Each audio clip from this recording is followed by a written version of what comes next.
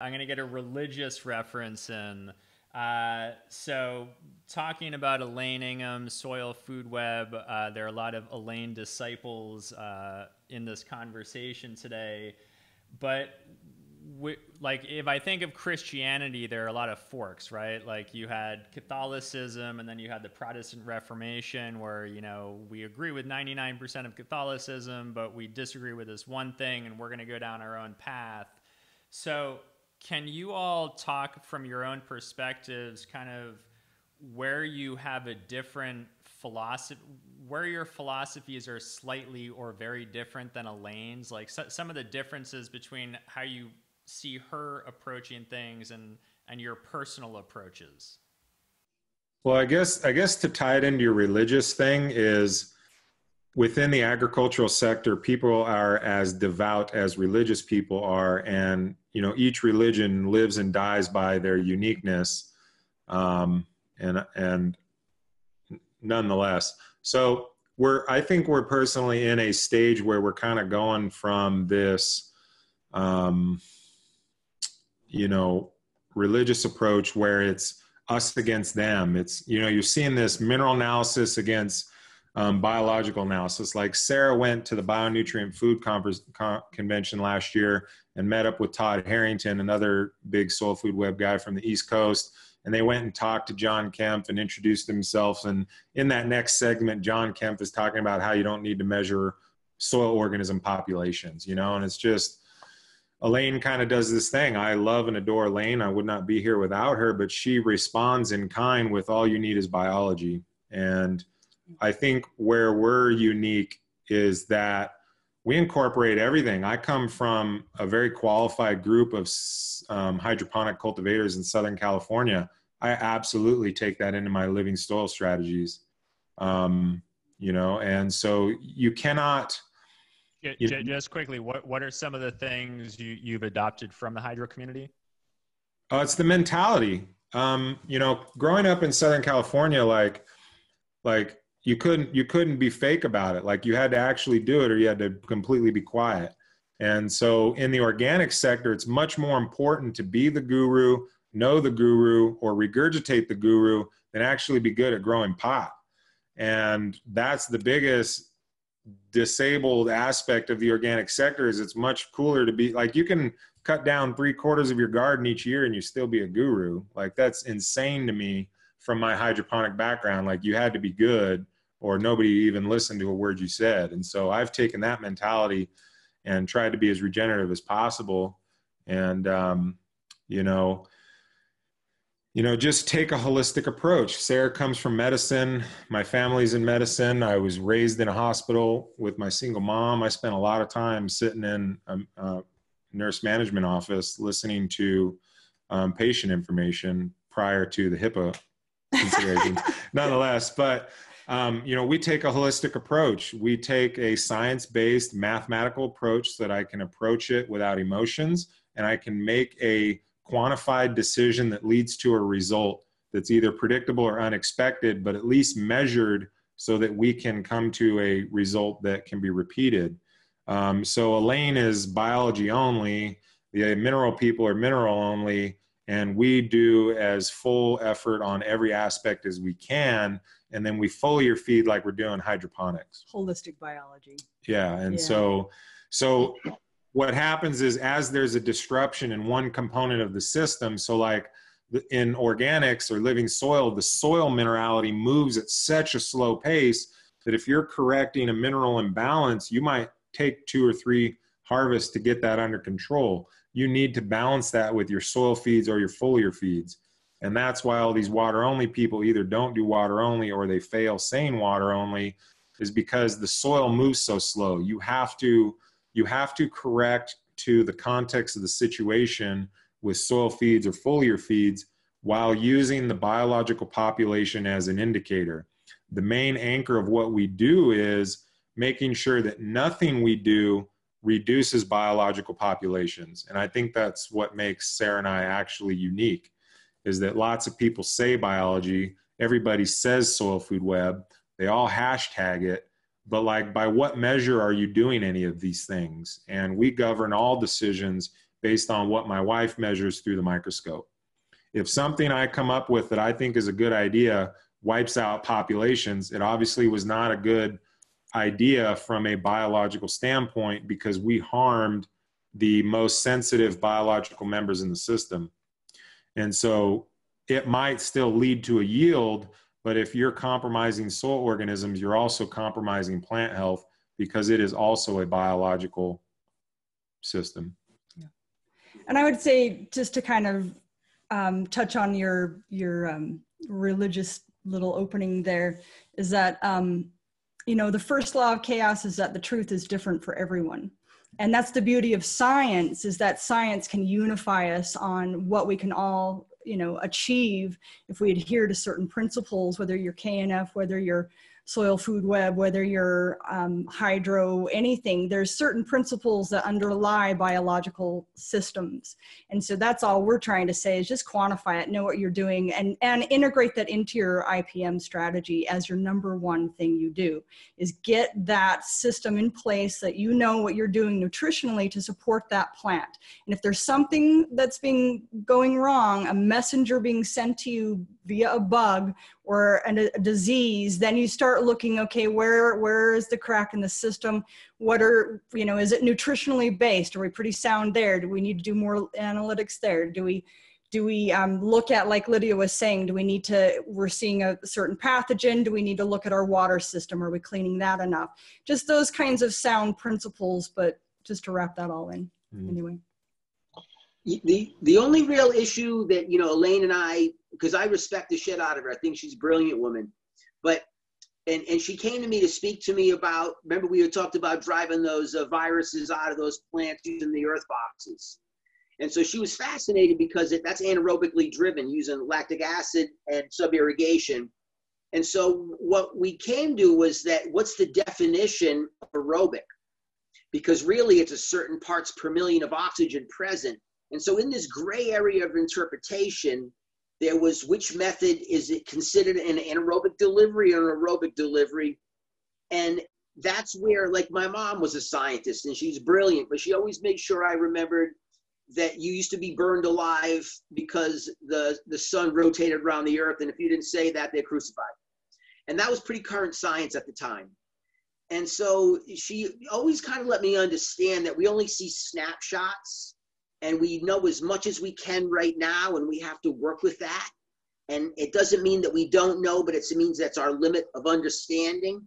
And i think when you you get into this religious dogma what happens is you start to take away reason and you just follow blindly. And what you need to be able to do is take the the, the education from the individual and understand how to apply it. And if other people are having success with contrary methods you need to investigate and try to find out what is the common success of all methods because something is occurring that's succeeding. Yes. And so I think that, you know, with what we're all trying to do is is understand there's an art and a science we're trying to merge and we only know so much about either. And I think that's where Dr. Ingham gets jammed is because I don't think she could be any smarter at what she is. I mean, she's if you spend some time with her, man, she's brilliant and she's got such a nice rhythm with it. it it's she lives that shit. Mm-hmm. But that's what she knows. And then when you run something that you don't have the same understanding, but it's doing something, it can't be wrong. And so it's really trying to bring everyone into the same area to say, hey, look, with all our understandings, we maybe can get our arms around part of the problem. But none of us are, are so comprehensive that we control the information on a thing because the thing is so complex. Right. So that's, totally. the, that's the only. Mm-hmm. And it's always evolving, and that's what she always says. But what Scott ended up doing, and why I kind of, well, I mean, I appreciate what he's done. And actually, there was a guy that was one of the advisors. Elaine has these advisors, and these are the people that go and do all her work all the way through, and you know, for for the street explanation of things is is what I'm giving right now, not the scientific like you guys, but basically within her group of advisors, they all perform her work and like the disciples, so to speak. And Scott and Sarah are those, you know, have gone through that process. And there was somebody before them, a homie of mine named Ian Davidson. he started a company called Biologic Crop Solutions that a lot of people use, but he ended up moving to Hawaii and getting into some other stuff. And uh, Scott and Sarah, when I met Scott, he was basically jumping on as an advisor and learning and doing and saying the stuff where Ian stopped his work and moved into something else. And that one of the examples is going from brewing compost teas to doing these extracts. But what Scott did and, and, and Sarah is they took her information and geeked out on it and went deep and deep into cannabis. You know, a lot of people kind of fuck with Scott sometimes going, Do you grow and stuff? And yeah, I'm smoking some of his weed right now, but he's been on big facilities doing big work, and I've been to those. And even Kevin, you've recommended something to uh, a farm to have me go check out, and then after I do my work, I recommend Scott. Next thing you know, the place is blowing up. And so oh, yeah, at the end of the day, yeah. And so at the end of the day, what's happened and what Scott decided to do was create those events, and we did them with Elaine because Elaine was kind of like you know something that really drove a lot of people to get in there. But Scott's data that had been collected in cannabis was the real eye opener. And I remember the first one we did, Elaine was at the edge of her seat, like holy shit by the third one, I don't know if she could t- handle the uh, spotlight that Scott was taking anymore. And she kind of started deteriorating those events. And then we had Kevin jump on with us. And we had some good ones after that. And then eventually, I'm no longer with the situation that we were doing to create those. And so subsequently, a lot of that has stopped. But the information was insane that was coming out of that stuff. And that's what I cleaned on to was Elaine – seeded, but Scott and Sarah sprouted. And it yeah. was much easier for me to understand because I, I, I've read her papers or looked at some of her shit and I don't even know, I don't even speak that language. Yeah. Scott's well, that, well, that's what you said. Like I called you on the phone back in like 2013, trying to get some compost tea brewing products. I got you on the phone and I was asking like really specific questions about Dr. Elaine and regards to my family's farm and you're like look kid if this is important to you like you got to find this dr lane woman and figure out what she's talking about. And then you you must have had a bowl or two because you're like look man all these cannabis people they keep saying soil food web but i don't know anybody that's measuring it like this woman is saying it you know? And so if you like growing pot and you think you can swing a microscope like get down. And I took that really seriously and I did do that. And I don't think the market at wide really understands the level of analysis that we can and have provide and aggregated and distilled down into really functional advice. And it's just, I think it's a symptom of the market's not quite ready yet. Still, you know, we well, we were trying to take that to big ag too, and so I had already spent a shitload of time spraying walnuts with with compost tea when oh we needed to get it into the irrigation system spraying it was barely doing shit mm-hmm. and when you called me you were like yo we're going to set up this thing and spray these fields or hay or whatever fields and i was like no no you got to drench that shit that's what and, we did uh, yeah. yeah. and so mm-hmm. basically it kind of evolved from you know like a lot evolved from there yeah. But you know, again, it was you know the comprehension of these things and the way that was laid out to us. Everybody that I knew and at that time was we only sprayed compost tea. Mm-hmm. You know, you maybe put a little into the soil, but uh, it was a big spray thing at the time. Mm-hmm. Well, but what we did was we we did the data points. So both Sarah and I are capable of doing the full microscope process, and we showed up to a farm. That's exactly what we did, and to my knowledge, we're the first people to really provide that to the market. And we went crazy because both, you know, Sarah comes from medicine where lives are on the line. And if you don't document properly baselines, then, you know, a lot of problems come from that. And I had a construction business that had a lot of liability working in schools. So when we got into commercial cannabis officially, you know, the first thing we did was establish all those baselines so we could know where we're starting so we can know where we're going. And what we ended up finding was, you know, one particular facility had like a perpetual harvest model. And we came in and took samples of each of the populations that were on this two week cycle. And we were able to drill down to a decision that was made by the cultivator that turned things into the direction of mold. And so, as far as four years ago, we were able to come into a facility and within 48 hours figure out the week that led to all the problems and what that decision was.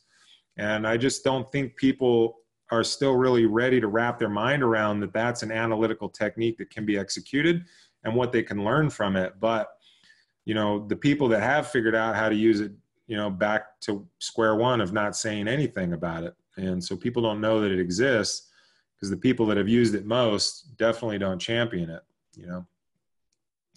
Well, and the thing that Elaine deals deals with them more than anything else is that you know she came in um, where you know the papers didn't exist on any of this material you know like soil microbiology wasn't a common discussion certainly wasn't anything that was uh, able to be communicated to the point that you, you can have a conversation in an eight or six hour class in one day and give people more information than they had ever been exposed to in their entire life right. you know and they've been cultivating or farming for a real long time so you know and she also comes from this point of um, I really like Elaine. I think she's she's phenomenal, just like everyone else has said. But you know, she her position, at least originally, um, was you know very defensive against you know traditional ag. You know, she has a lot of people that are trying to argue with her. She has issues with you know you know grant money and you know who's funding the university that she was working for at the time and how all of that's like changed and modified in her life and how that's impacted and driven her to you know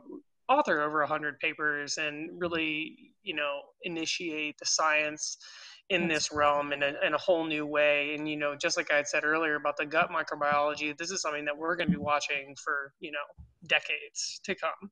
All of the different tiny little intricacies of how these um, microorganisms work together how they work with the minerals how it all like works with ph and gets into the plant and how all that can be very finicky you know especially with cannabis strain by strain or with different um, different species of plants in general. This is just something that's going to be developing over time. And as we all know, you know what works what works for some person, you know, one guy doesn't work for the next one, you know, five miles down the road. And there's a series of reasons why that's the case. And so you just have to tune into your own your own farm, what your um, what you've got going on, what the benefits, you know, what the drawbacks are of your current situation, and research it to the best of your ability. Because that's the other thing too is like we live in a culture where everybody just wants to look at something on Instagram instead of actually reading a paper. And then in the, if they actually do go read papers they don't know how to determine whether or not this paper is sound if it has you know if there's a large enough sample size if there's any statistical relevance to what's being what's being spouted at the end in a conclusion. And you know taking those jumping off points um, you know elaine does really you know spectacular science but taking the jumping off points that she's providing and the stuff that scott's giving and putting it into practice in your own facility uh, to the best of your ability and, and coming out with something that was better than what you had started with before you know and i think that we're seeing that you know the quality of the material just increases day by day which is great. Context is everything it needs to be appropriate to your context, what you're capable of.